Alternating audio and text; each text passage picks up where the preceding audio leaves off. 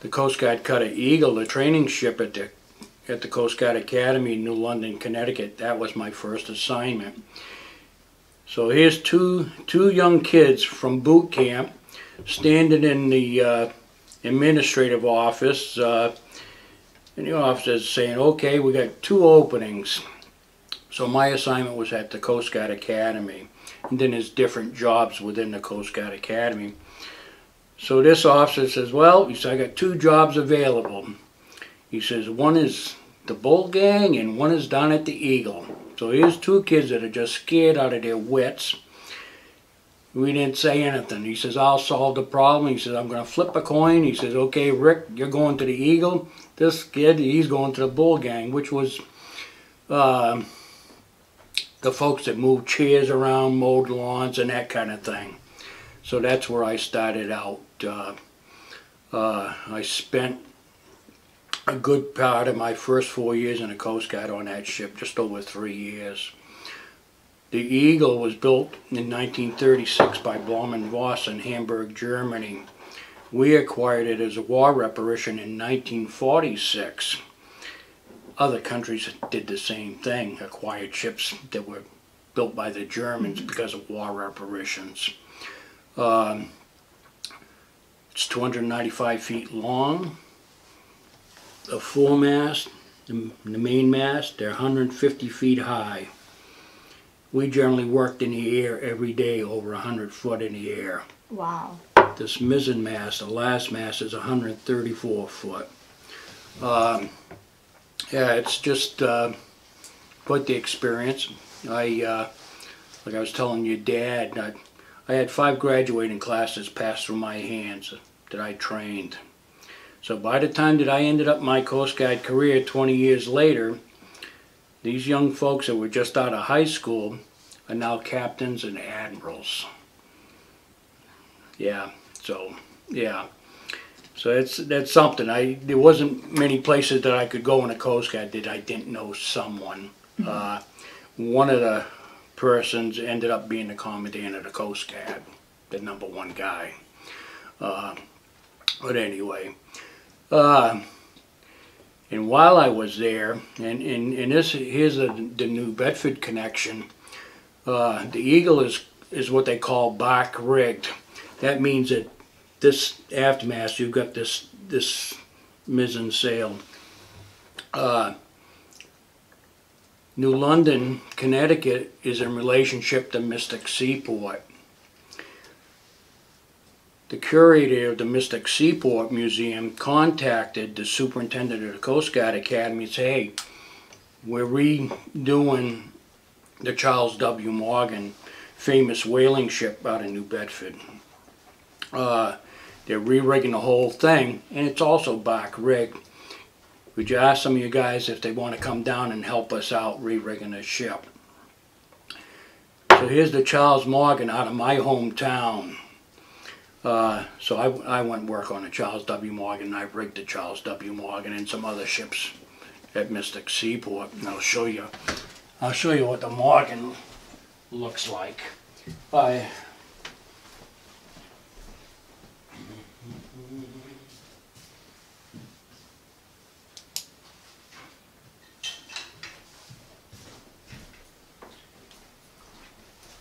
The Charles W. Morgan should have stayed in New Bedford.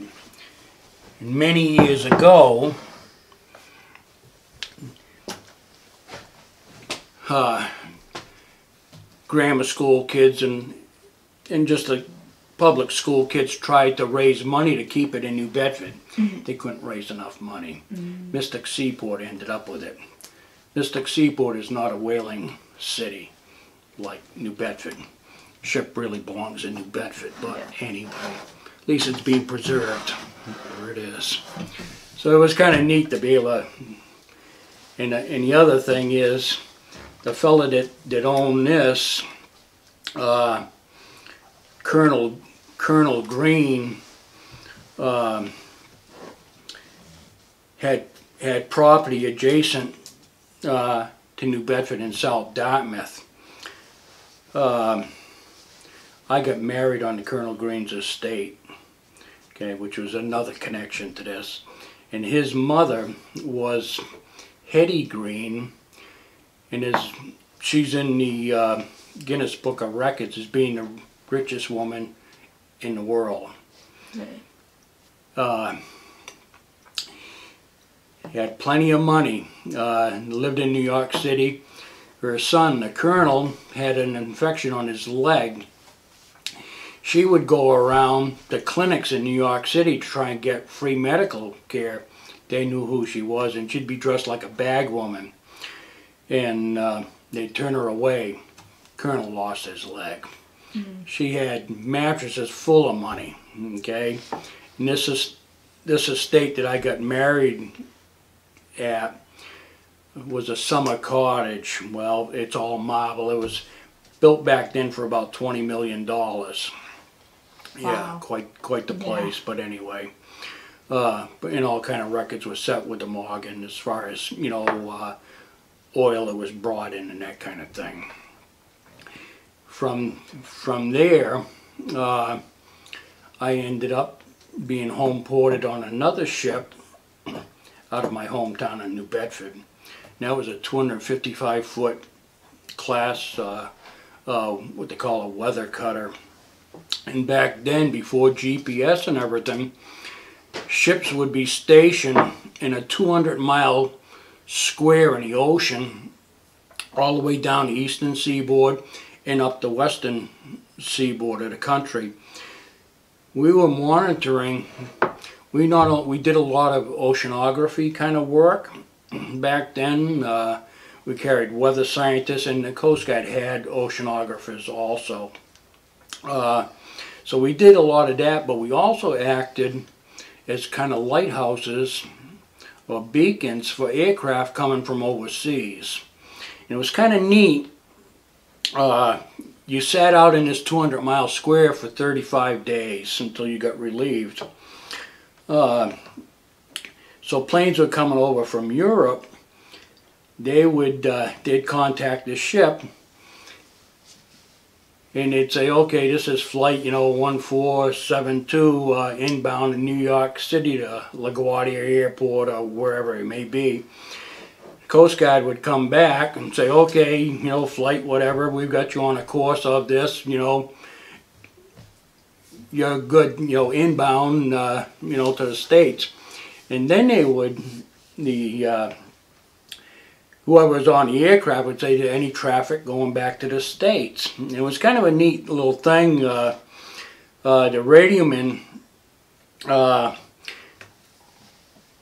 would go ahead and say, okay, anybody wants to send a message back home and say, maybe if you're married, say, oh, I love you, see you in a see you in two weeks, honey. Uh, and and this, this aircraft, they would say, okay, they as much time as we had them on the radio, they would jot down these quick little one-liners.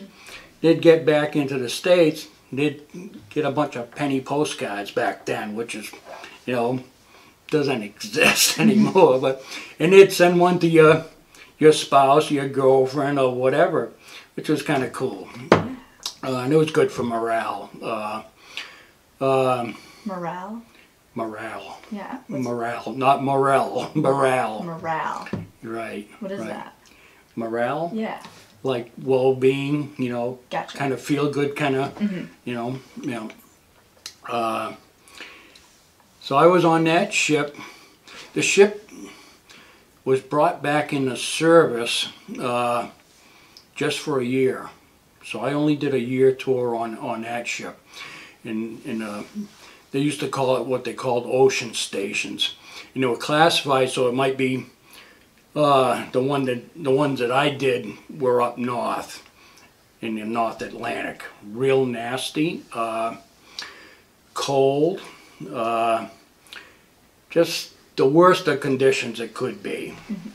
That was Ocean Station Bravo. There was Ocean Station Charlie, and, and right down the down the coast. Uh, uh, it, it was a it was a pretty neat experience. Uh, then I went on to being a lighthouse keeper. And I'll show you. I had one of the tallest lighthouses on the eastern seaboard. You can interject can ask you a question.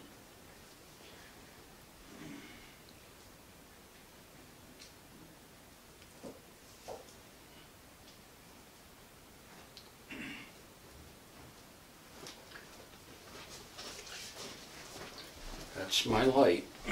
What's your light? That's Boone Island Light. It's six miles straight out from the New Hampshire Maine border. Uh, It was just sold uh, to a private party uh, two or three years ago now. Uh, When the Coast Guard said that's enough, uh, started doing away with lighthouses, uh, they burnt everything. All the lower part of the structure, and this is was where we lived in the house, they burnt. And then it was wood, got burned. All of this is granite, like three foot thick granite. Come Labor Day, I would have to plywood over these windows. I mean, this was not much of a rock. And I mean, you just got pelted, uh, yeah. Now, I have a question. Did any Yeah. like family members like uh like did any of your family members also join like the military and did that like make you want to join the military? My dad was in the military. He was in the Navy. Oh, he was. Yeah, yeah, yeah. I know little about his career. Uh, uh, yeah, he- he- I later found out uh, he was the same specialty that I was. Okay, I was a boatswain mate. And a, and a boatswain mate is a person equivalent in the civilian world is a foreman we manage people. We're, we're the jack of all trades of everybody. Uh, we're the only specialty in the Coast Guard that can be in charge. Okay, so like when I had, uh, I was a uh, chief at the Frankfort station, I was the officer in charge. Boatswain is the only ones that, you know, no other specialty in the Coast Guard can be in charge of a Coast Guard station unless you're an officer. Okay, and if you're an officer, it's your address as commanding officer versus officer in charge. Uh, so, uh, in this, I was the officer in charge of this light, and it was kind of neat. There was this, this is what they call a four-man light, and the way this works, you're out the tour of duty is normally a year. you would go out normally for two weeks, mm-hmm. and then you're off for one week. And it's called what they call compensatory leave. Anyone that's in the military gets 30 days annual leave per year.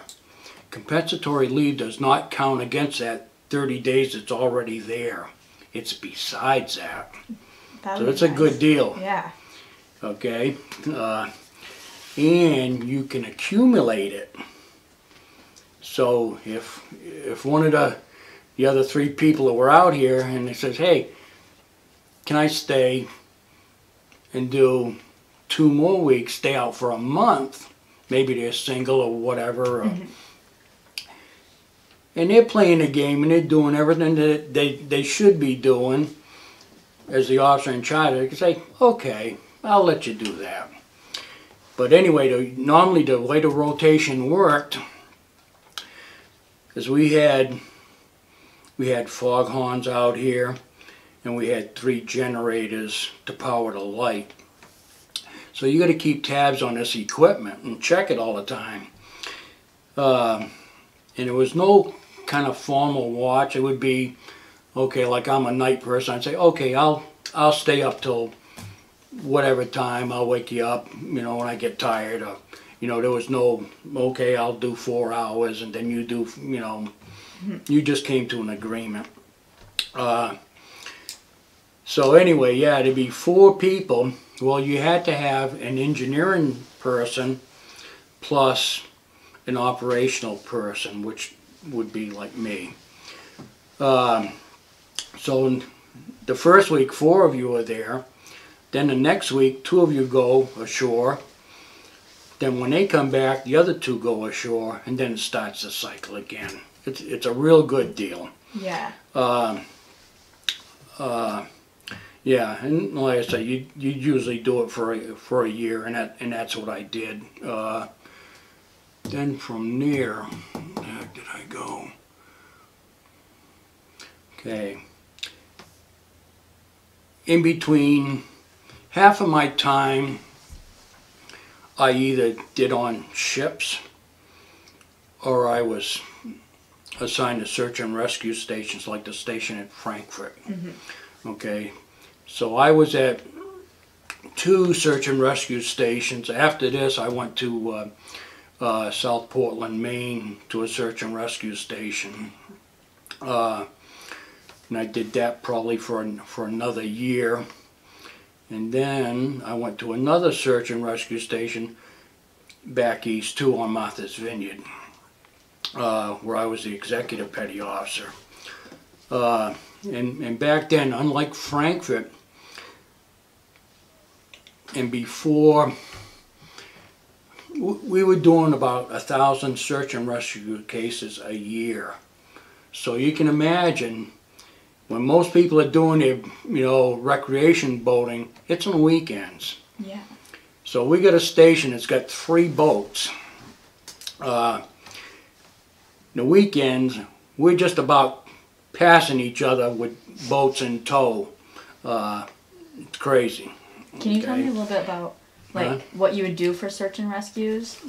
Like, tell me a little bit about what you do for search and rescues.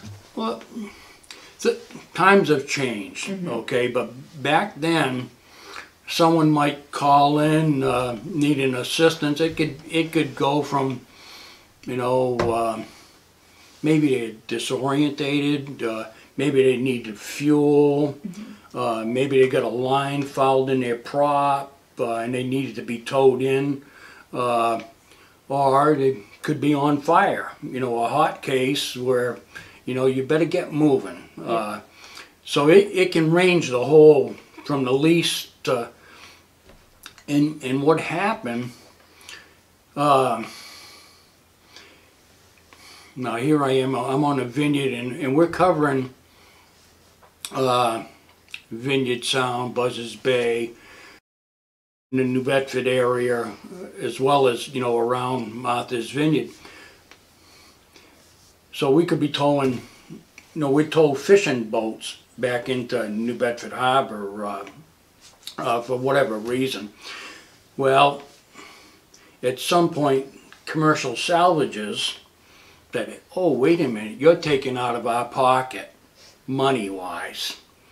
So now things start changing, the climate changes in the Coast Guard, whereas uh, you know, these, these salvages in, in an uproar. Well, they want the money in their pocket versus, you know, the Coast Guard going out and, and doing it for nothing, uh, uh, just as a service. Um, so that, that changed the whole climate and how we dealt with, with different cases. So if it was non-emergency, now it says, okay, well, what salvager do you want us to call for you? We'll make the call. Who do you want? You know, here's your options, uh, right? And pass it off to them. And then a watchstander is sitting in the station behind a radio and he's monitoring what's going on with this call. They don't even get underway. So when I came to Frankfort, Frankfort was counting 100 search and rescue cases a year as compared to the 1,000 or 1,200 that I was doing back east. Mm-hmm. And there was probably 10 of those 100 cases that they had to get a boat underway. That's not my Coast Guard, Yeah. okay? Uh, How long were I- you at Frankfort? pardon me? How long were you at One Frankfort? year. One year. one year. Uh, and it, it was things going on very similar to what happened uh, this this past year down in Frankfort, uh, um, where people from the district office came in and, and they had a little town meeting. And they said, "Okay, uh, we're going to make some changes in Frankfort." I went through the same thing back in 1985. Um, it's not fair to the people. I was the last chief to have the full complement. I had 21 people when I had that station. We were a full blown out station. There was nothing in Manistee. In the winter, there was two people in Manistee, you know, caretaker people. And then Manistee is what they call a summer stock program, where in the summer, and especially teachers that have a block of time in the summer, they do all their reserve time in 30 days. That's that's who. Uh, that's where the personnel came from the Manistee Station. They'd put a put a boat uh, there for the summer season, you know, just like Frankfort is now, Memorial Day to Labor Day, and that's all they had. And then once that was over, Labor Day, Frankfort assumed Manistee's area of responsibility. Okay, so whatever it is on the southern border of Manistee, out to the middle of Lake Michigan, and up to uh, West Bay is our area of responsibility. It's, it was huge. Yeah. Uh, so anyway, that that kind of changed. Manistee had a program called SOS, and it was Save Our Station. Okay, Frankfort was the primary station, not Manistee. So now things, you know, they got some political pull behind them. They have a beautiful station there. It's what every Coast Guard search and rescue station should look like. They're not dependent on a marina to pull their boats out. They have all of that right there. It's just a beautiful station. Frankfort now is nothing. Okay, I don't like what's happened at Frankfort. I went to this last meeting to support the chief that was there. Uh, and like I say, I don't know the Coast Guard anymore. But I know enough, and having been, you know, from a commercial fishing family, uh, uh, Coast Guard's pretty important, and I tell people that Coast Guard is a taxpayer's bargain for what what they do and the money that they do it with. It's unbelievable. So when I was at Frankfort, here's a couple things that uh, the person that was over me, the group commander, uh, and he and he was down to. Uh, Muskegon at, at the time, he was not an operational type. He was not a boat operator or something. He was an administrative type. I'm an operational type. You know, I operate boats, I operate ships. And uh, so I get to the station, and, uh, and it was like, hmm, well, don't worry about anything, Chief. Uh, you don't have to, 8 o'clock, you can pretty much shut the station down. Well, that's not playing Coast Guard. Things don't happen that way. When there's something, when somebody needs help, it's not when it's the sun is nice and shiny and the seas are flat and and all of that business. It's at the wor- very worst moment. These people that I had under me, they're going to go on to other stations. Mm-hmm. I can't deprive them and, and shortchange them and not train them to go ahead, Yeah. you know. And we were the most trained station when I had Frankfort.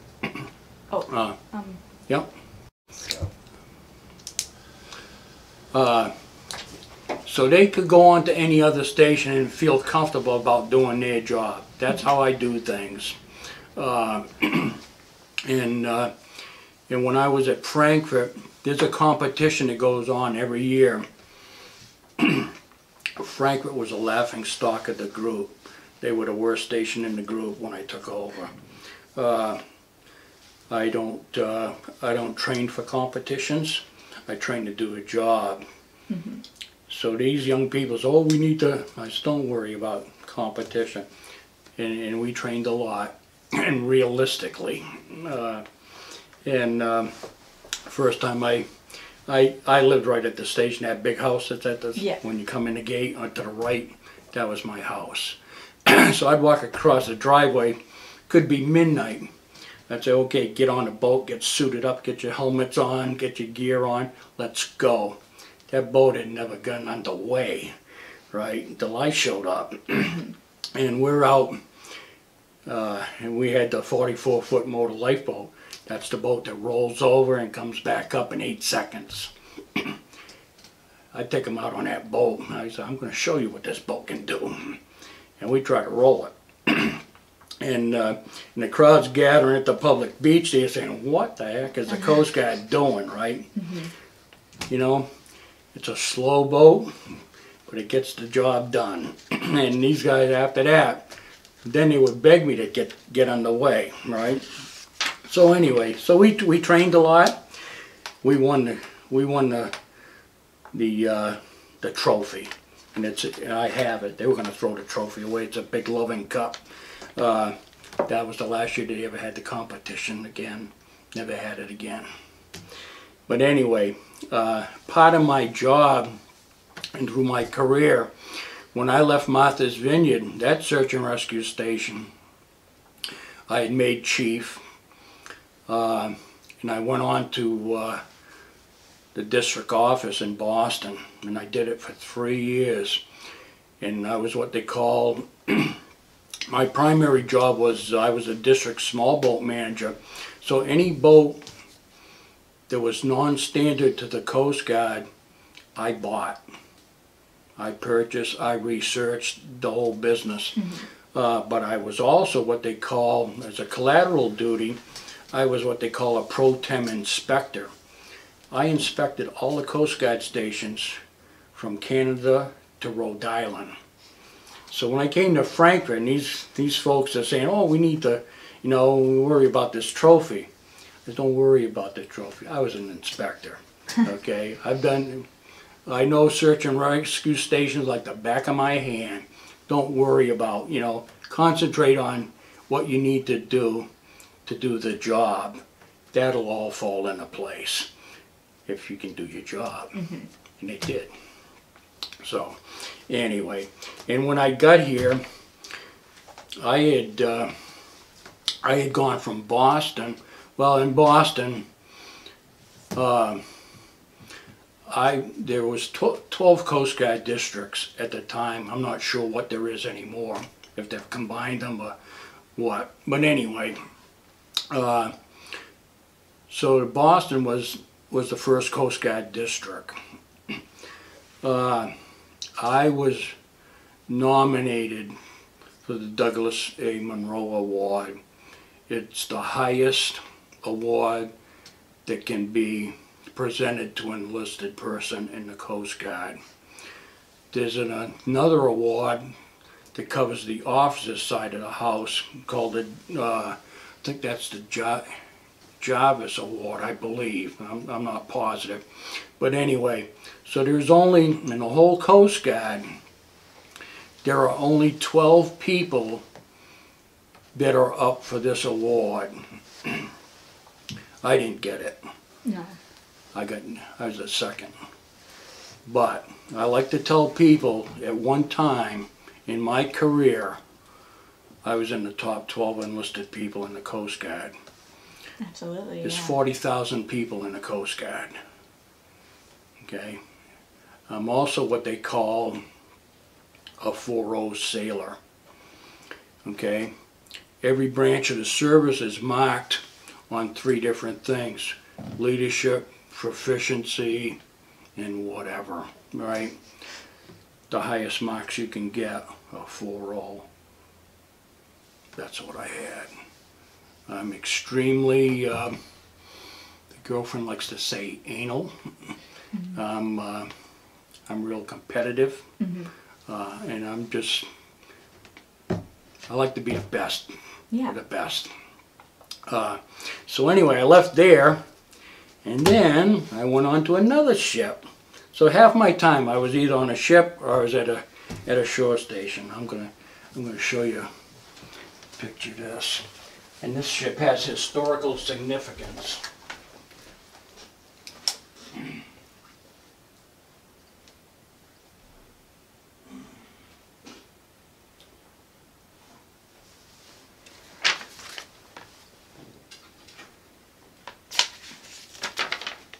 Okay. That's, um, that's it. That's the Storis. Uh, nickname is the Galloping Ghost of the Alaskan Coast. Uh, the historical significance is that and two other Coast Guard ships, uh, the Bramble and the Spar, made the Northwest Passage. So they went up from Alaska, they were out of Kodiak, Alaska. Went up through the ice field above Canada, down the eastern seaboard, through the Panama Canal, and back up the western coast. Wow. Has an ice breaking hull. How long did that trip take? Pardon me? How long would that trip take? I don't know. No. It, it was done years ago, Oh, before gotcha. before my time. Uh, I saw old newsreel of it. Yeah. which was kind of neat. Uh, uh, on that ship, our primary duty was the enforcement of uh, fishing treaties with other countries. So, U.S., Japan, whoever wants to come fish in Alaskan waters, and it could be it could be in New England waters for that for that matter too they agree and say, okay, we will not take this species of fish or crab. They take king crab out of Alaskan waters, they're in big trouble. Okay? so, we took possession of three foreign fishing vessels while I was on that ship. It was a record. And what we do, I was putting a boat over the side with boarding teams and and it doesn't matter. The, the way Japanese fisheries uh, work there's a mothership that's a processing ship. It does everything. So you fillet the fish flash freeze it boom. The mothership gets relieved goes back to Japan those guys in them fishing boats like my dad was on they stay out there for a year they don't see their family for a year. Okay, they're just fishermen trying to make some money for keep their family fed, uh, and that's all they want to do. You know, uh, so these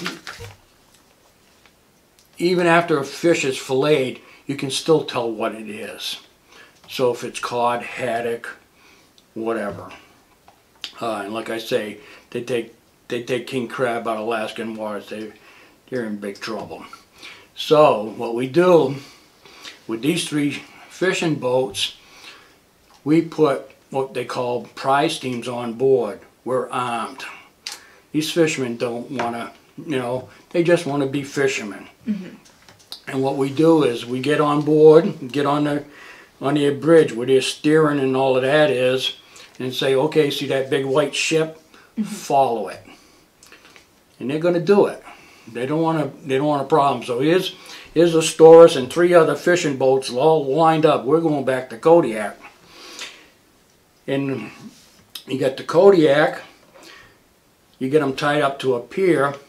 We put armed people on a pier. No one comes off them ships. Mm-hmm.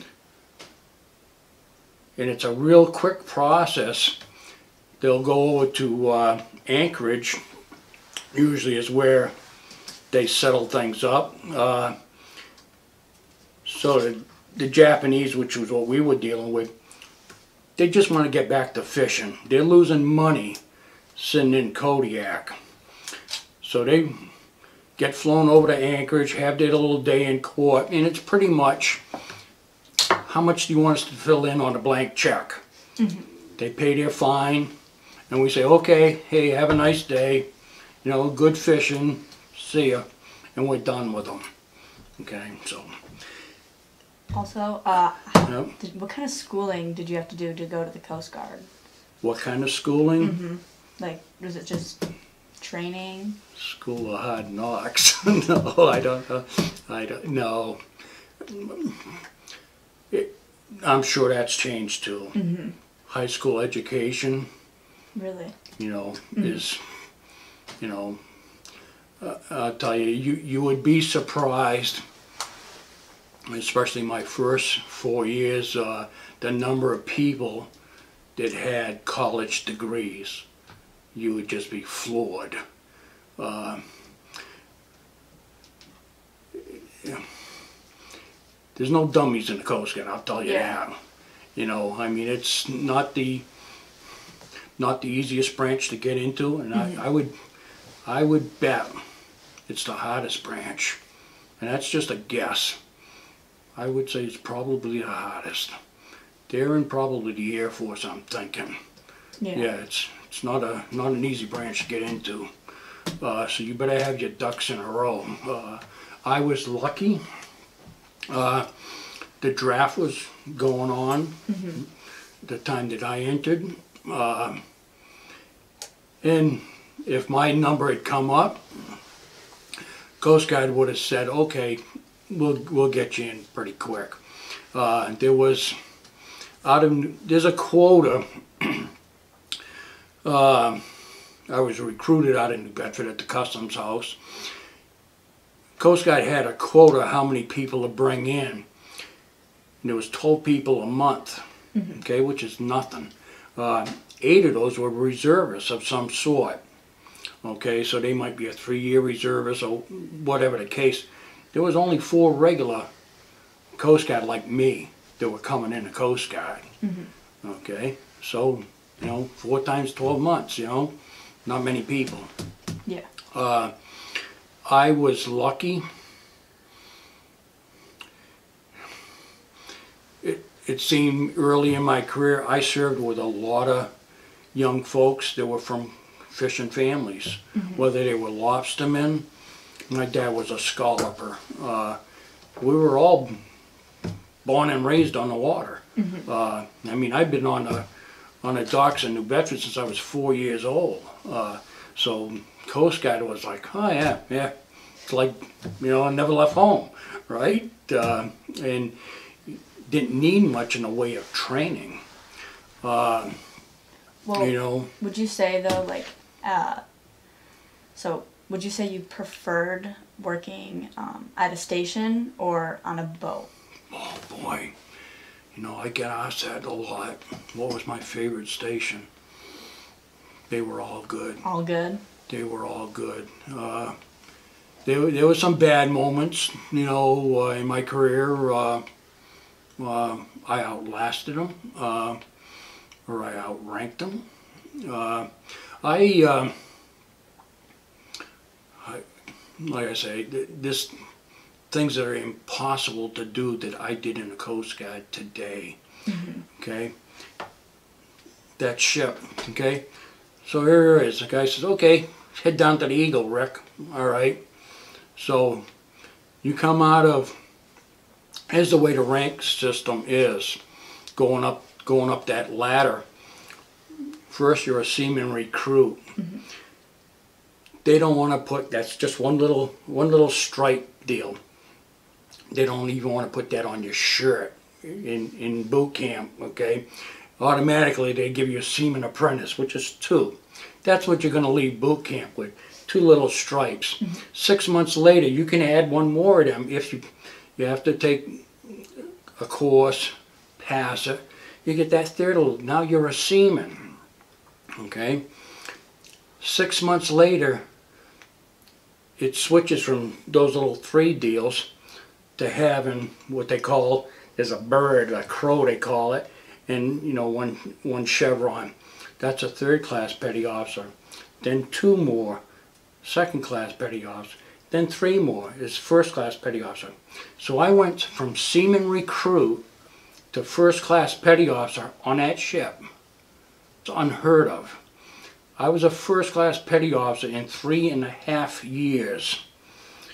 A chief is okay, first, first class is, is, it goes E, E- the first stripe, E one, E two, E three, right up. So the first class is an E six. A chief is an E seven. There's three grades of chief. There's a chief, a senior chief, and a master chief. Okay, so the first chief is an E seven, then an E eight, and an E nine. That's the topic, and there's one, one other chief, it's master chief of the Coast Guard. There's only one of them, okay? I retired as a senior chief. I was, you know, middle of the line, I was the very next one to make master, next one on the list. And there was some crazy things going on in the Coast Guard at the time, uh, uh, but anyway. So that was kind of my goal to be a master. I wasn't. I was one person off. But anyway, but most of my career, I was an E6, E7, or an E8. Okay? Back when I went in, if you were had 17 years, that's about the time that you were going to make E7 chief. And you did that in So, three and a half. so here, here I am. I'm eligible. At three and a half years, I was an E6. I still had to have time in, as an E6 before I could take an E7 exam. I took courses. I took two different courses because they renewed a, a course. And I said, oh, just so, so I don't shortchange myself, I'll take it again and pass it a second time. now I'm going to compete with everybody in my specialty uh, that's looking for a job, you know, looking for that, you know, next step up. So I was first eligible to sit on a chief's exam. I had four and a half years in a Coast Guard. Okay, unheard of. Okay, but the thing that would kill me, I didn't have time in grade as an E6 because you get points for that uh, time in grade and time in service. I had neither one, right? I didn't have any time, you know. So these other people that had 17 years that didn't want the responsibility that I wanted, that's when they would make chief because they didn't want the responsibility, but they wanted the money in their retirement pay. Mm-hmm. Okay, so those are the folks I competed with. So now, seven years later, okay, guess what? Little Ricky has got time in grade. I mm-hmm. got time in service. You son of a guns that have, you know, right? yeah. That were, you know, kind of kicking me to the curb. Now there's no one that can compete with me, right? So, so yeah, I made chief pretty pretty early on. I made E6 real early on, uh, and especially for my specialty. The only ones that would make that in that kind of time were specialists like electronics people, really specialized fields. Okay, mates were, huh, you know, if you want to be, you know, uh, uh, and his jokes about mates, well, you know, uh, uh, you don't need to know anything to be a boatswain. Well, it's a bunch of malarkey. Uh, okay, anybody that can that can manage people, which is what we are, uh, you're worth your weight in gold.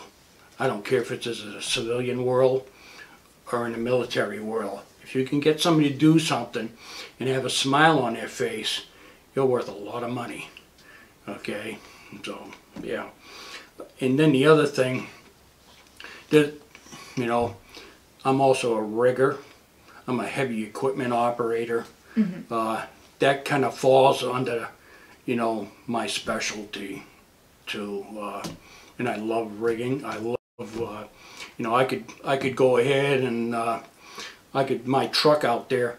I could rig up enough block and tackle where I could have this young fella pick up that truck himself, and it'd be just wow, you know. And I've done it with like scouting groups and stuff. Say, hey, here's this. Take the smallest guy and say, hey, okay, give me enough tackle or like you know, uh, you know, big enough fulcrum.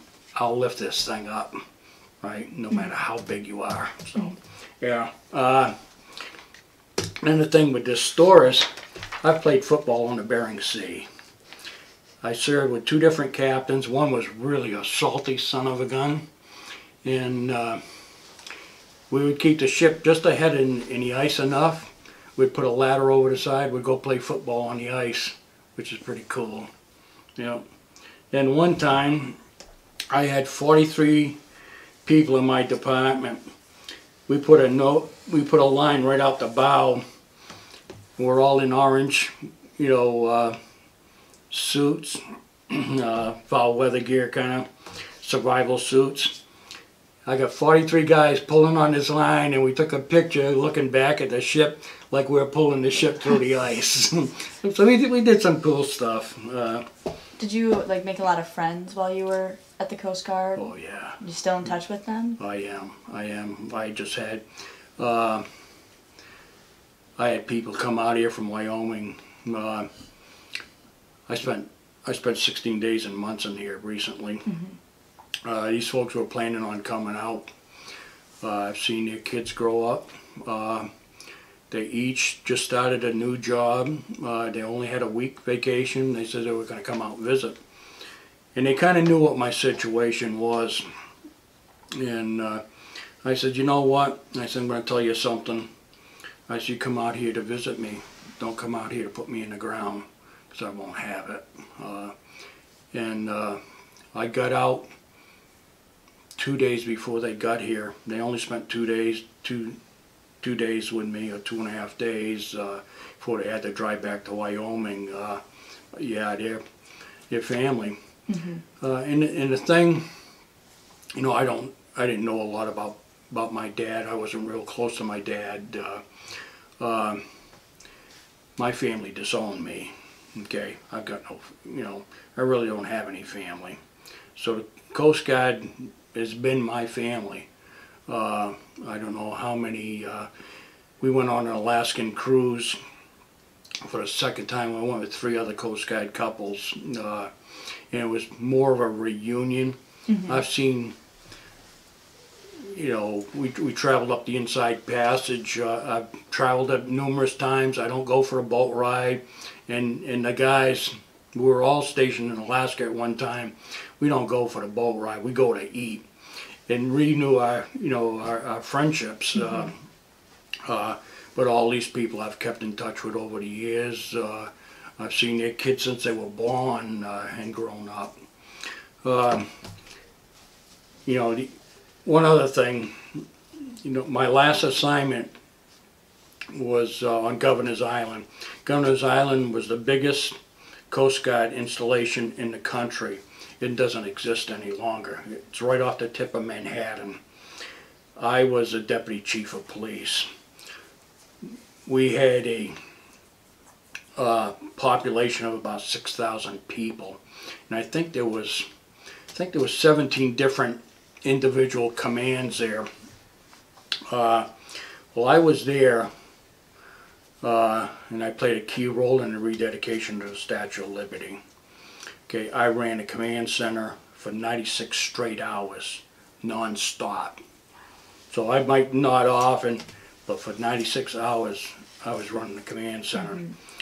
Uh, it was at the time the largest peacetime law enforcement effort ever in this country. Ever. I protected President Reagan and Francois Mitterrand. Okay. During that time, uh, we we uh, we worked with the FBI, White House staff, every military special team, uh, you know, like sniper teams, that kind of thing, was on that island.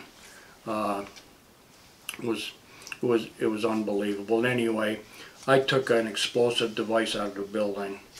Okay, so the way the island island is, the tip of the island, Reagan and Mitterrand were going to shoot a laser beam across to Bedloe Island where Statue of Liberty was and relight the statue. GE had done special lighting and lit, lit from the base right on up. So they were at this end of the island with the viewing stands and everything going on.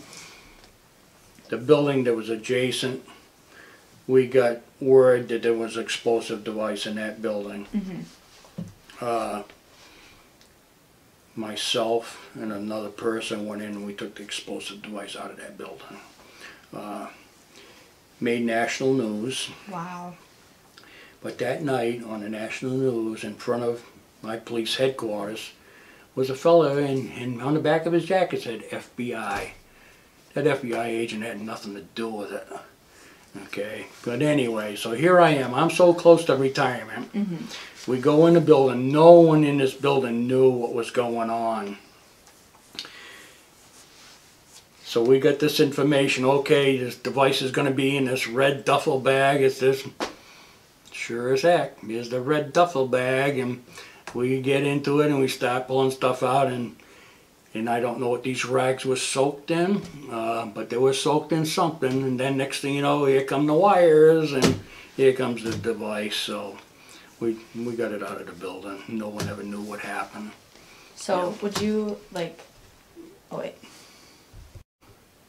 Okay. So would you say like would you like to let other people who are thinking of going into the Coast Guard know about these things? About like what's in for them? Do you know what I'm saying? Yeah, yeah. I'm gonna go to the bathroom here. I'm gonna answer. Yeah. Uh,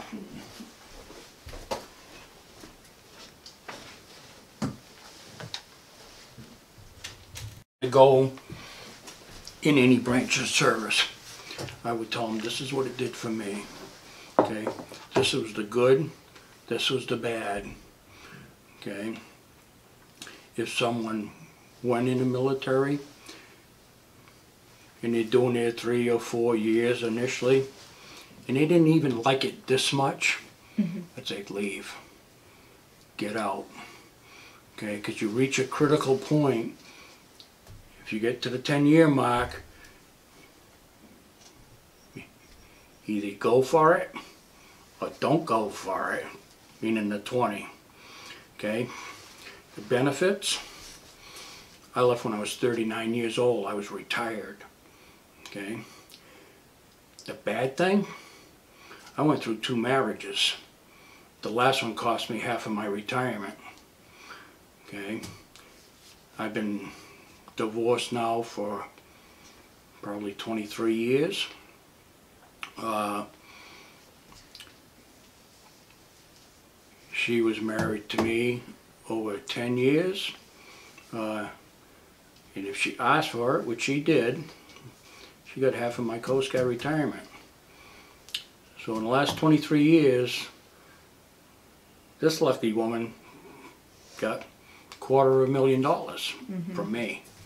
Okay, uh, God bless her, because she did me wrong. Uh, found herself a little boyfriend on the internet, but anyway, uh, you know I believe in karma. It'll it'll come around, but anybody that does 20 years in any branch of the military, it's probably going to cost them a marriage.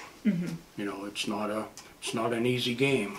Uh, the Coast Guard is probably the closest to having a civilian job as you possibly can have. Uh, yeah, I I had no intention of staying, you know, but I mean, by the time that I was in E3, one rank over a seaman, I was in charge. I was in charge of something, you know, E E4, E5, E6. I was in charge of bigger things. I liked it, Yeah. you know, uh, and I liked the responsibility. So, h- how would you say that being part of the Coast Guard has changed you, like, uh, or impacted your life like a lot? Boy, boy, oh boy. I know it's a loaded question. Oh.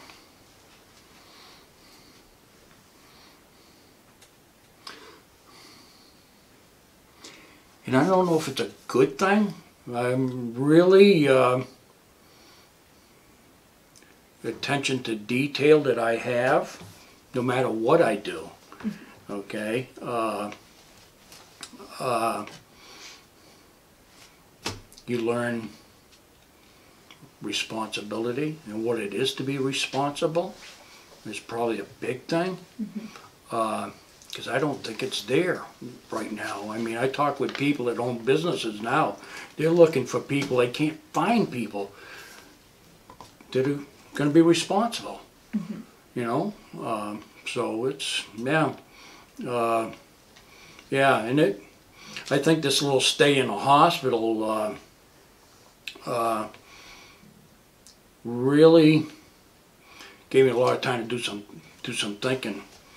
But there was a lot of lot of young people that that passed, you know, you know, had to deal with me, and, and I said, wow, I really renewed my faith in young people because I've seen a lot of bombs lately, uh, and I really said, is this what we're going to leave, you know?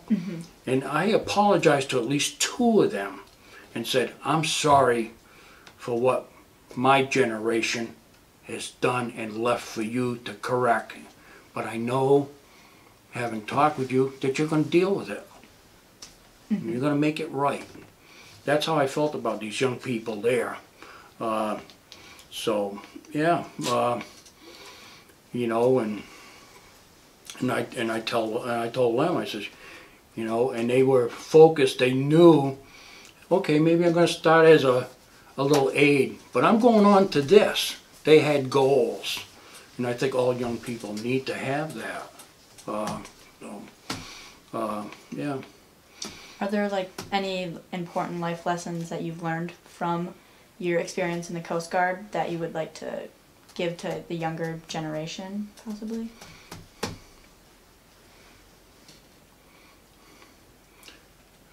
Yeah, yeah, yeah.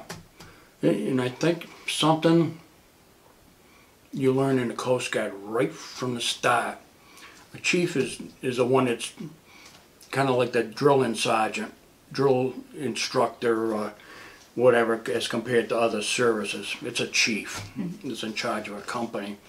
Uh, and he'll tell you, and told us right off, you know, you fall over the side, you're not looking at the color of someone's skin that's offering you a hand. Okay? And I think the, the way I lead my life is by the golden rule. And I really think with these crazy times that we're in now, uh, and not get political about anything, we need to look out for each other. You know, be neighborly once again. Uh, and, and that's that's what I'm doing in Michigan. I've been in all 50 states. Okay, I may have just passed through them, but I've been through all of them. Okay, Hawaii, Alaska, every one of them. I took the girlfriend back east a number of years ago, which is where my family is. They're either in Maine or Massachusetts. And she said, well, she says, why wouldn't you come back here? We got some beautiful country back there. And I said, you know what? I says, I'll tell you why.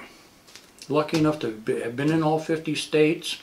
Uh, here, the short time I was here in Frankfort, uh, uh, and it says a lot about Midwest values. Uh, somebody gets in trouble around here, let's have a spaghetti dinner for them. Let's help these folks out, whether you know them or not. Let's be do the neighborly thing and help these folks. They're part of our community. Okay, so I think that's what we need to be doing.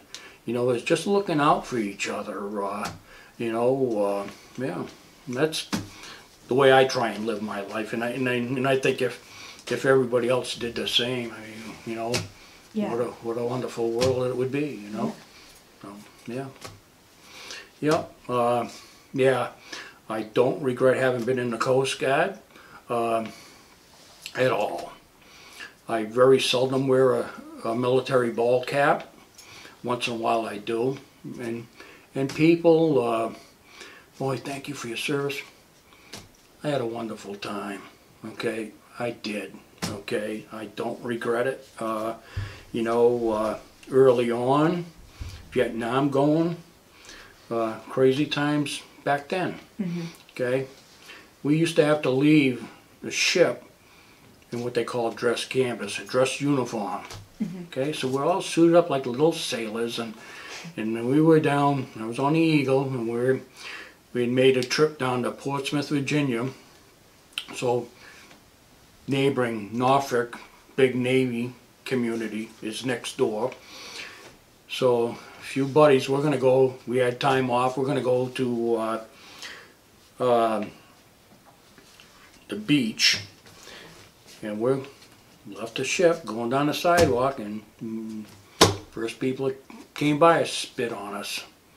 You know, that's that's what was going on during Vietnam. It was just it's crazy times. Uh, you know, I've dealt with Black Panthers. I've done with all of that. Uh, you know, people that uh, oh you're a baby killer, you're this, you're that, and okay, right. We're just doing what we're told to do. Okay, uh, but I first time somebody s- spit on me in uniform, uh, you know, I'm thinking to myself, boy, I thought everybody loved a sailor. Evidently not, you know, so, yeah, so it's crazy times, you know, so, and we got through it. Yep, All right. Well, thank you. Is there anything else you that didn't come up in this interview that you'd like to talk about? no, no, no, uh, you know, it's, it's kinda sad, uh, uh, I talked, I talked with my son, he's up in, up in Maine, uh, this morning, and I let him know this was going on, and, uh, I've got, I've got four children of my own. Uh, only one of them has been out here in thirty years. Uh, not real close to my kids, my grandkids, uh, it's, it's really sad that, they know little of what their father has done. You know, I mean, uh, I would have loved to have my, my grandson say, oh yeah, you know, my grandpa was a lighthouse keeper. I had a ghost on that light, by the way, too. And I experienced them. Uh, no, you know, most, most lighthouses do have them. Uh, but anyway, you, you know, so much that I could have said, hey, you know, you know, come over and sit with granddad, uh, you know, uh, you know, and I'll tell you sea stories all night long, uh, you know, so I, I regret that. Uh, yep, my, my boy, the one I talked to this morning, he came out here. Uh, probably the best summer that I've ever had. Uh, and I had a house, I lived on uh, Adams Road. Okay. And uh, so he, he came out and uh, and I'm kind of a no nonsense kind of guy. And uh, so he comes out like to like to sleep till eleven o'clock in the morning, which is fine. And and uh, I picked him up at the uh, the airport in town. Got long hair, and and I don't uh, I don't like to play the game without putting the rules up front. Okay, I don't make them as I go along. So we got his bags in the house, and I took him out to my little wood shop, and I said, "Okay, son of mine, here's the rules." And I said, "I know your your mother well enough that first thing she probably told you, your dad's not gonna like your long hair." I said, "That's baloney." I said, "The length of a man's hair isn't the cut of a man." Okay. I said, "You go ahead. That hair gets, you know, dirty and smelly." And I'll make it my business then. Wear your hair as long as you want to wear it. Just take care of it in my house. I said, I'm the adult in this house, not your mother.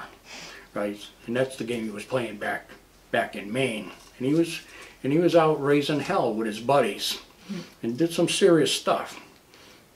So here he is, you know, a kid, you know, 14, 15 year old kid. And um, so one day, and it had to have been the hottest day of the summer, we had to we had to do some work in his yard and well he wants to sleep till 11 i want to get this stuff done before it gets hot and, uh, and i got him up early and he just boy mattered in a hornet and um, so here we are he's behind this shovel i'm doing this and and he said, "Oh, Daddy, I think you could do this better than I can." I said, "What?" I said, "You think your dad just fell off a turnip truck?" I said, "You're doing real fine, son." and we and we take breaks. We go down on Conway Road, jump in in the lake, get cool, and come right back. And and um, and I tried to make things a lesson to him. And I said, you know, I said, I know about all the hell racing you've been doing. Because you don't do that in my house. Uh, and uh, but I says, you know, I, says, are you enjoying yourself? And he'd kind of not swear, but he just, you know. I said, let me tell you something. I said, if you're really enjoying yourself, you go back to your mother in Maine, keep pulling the baloney you've been pulling. You're going to be somebody's donkey the rest of your life. Start using this, okay? And evidently he did. Goes back, my former wife calls me, and my blood would just boil when she'd call. I don't know what you did to your son. I think, oh, here it comes, right? She says, he's not skipping school. They want to make him class president. He's on the automotive troubleshooting team. He went on to win- a scholarship. Okay, now he's he's only one one of four people in the state of Maine that can work on on emergency vehicles like fire apparatus and that kind of thing. Okay, he just got back from a, a another. Well, he was in Vermont, uh, so there's only four people in the state of Maine that, that are certified to do the work that he does. He's got his own business. Second person is certified as his partner, so there's only two other people. So he's, you know, done done well for himself. And, and unlike my father, uh, my father knew exactly what I was doing in the Coast Guard. Uh, my father could never tell me he was proud of his son. He could tell his buddies, but he could never tell me. So I make sure with my son, I don't care about his business. I've owned businesses myself. Uh, I says, you know, I, I always make sure, and I think parents need to do this, you know, to, to challenge their kids and tell them, hey, when you're doing something right, hey, I'm proud of you, okay? And I'm not proud of my son because he owns a business. I'm proud of him because he's a good man, he's a good dad, he's a good father, he's a good husband. That's why I'm proud of him. That other stuff, you know, anybody can do that. So, yeah. Well, thank you, Rick. Uh, Thank you for sharing your experiences. Yeah, yeah, yeah, it was fun. Yeah, Rick, I'd have worked for you.